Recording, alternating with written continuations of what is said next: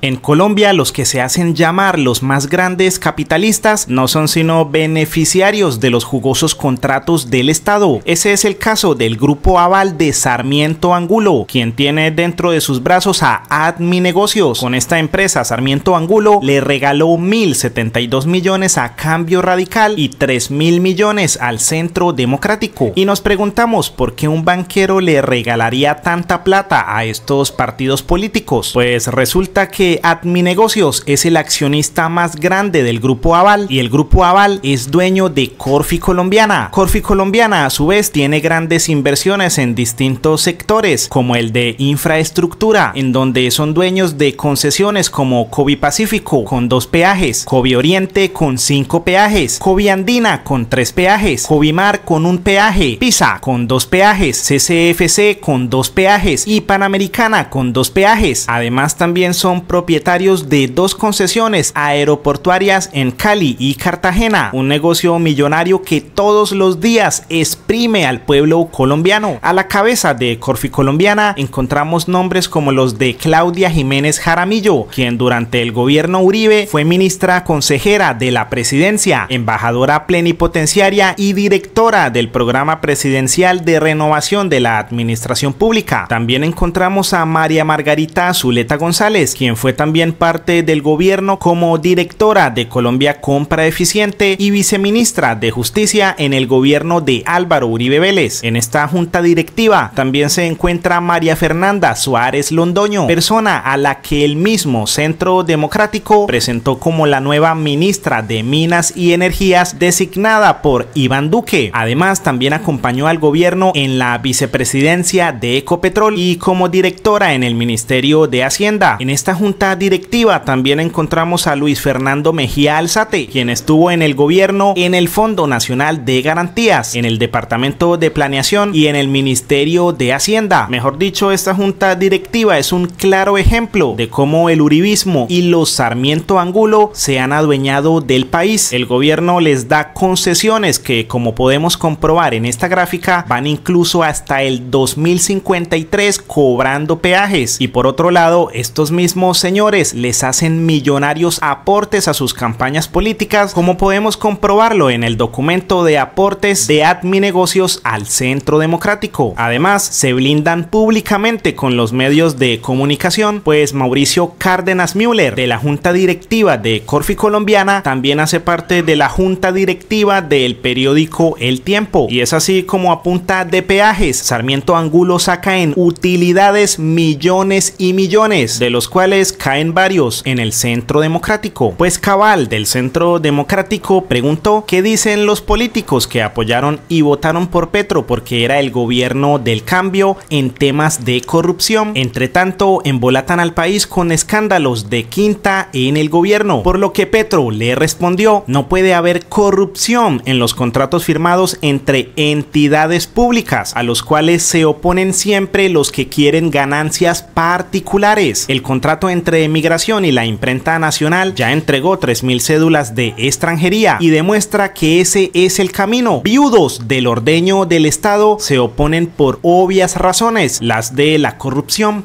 Luis Carlos Sarmiento Angulo no es el dueño del poder en Colombia. Y aquí ya hablaríamos no solo del gobierno, del poder. Del poder. El poder es más complejo que el gobierno. No es dueño. Si uno examina las finanzas públicas para hablar solo del gobierno, no encuentra que las finanzas públicas están encaminadas a pagarles año tras año billones de pesos en rentas, en utilidades rentísticas a Luis Carlos Sarmiento. Buena parte del déficit fiscal de Colombia tiene que ver con eso.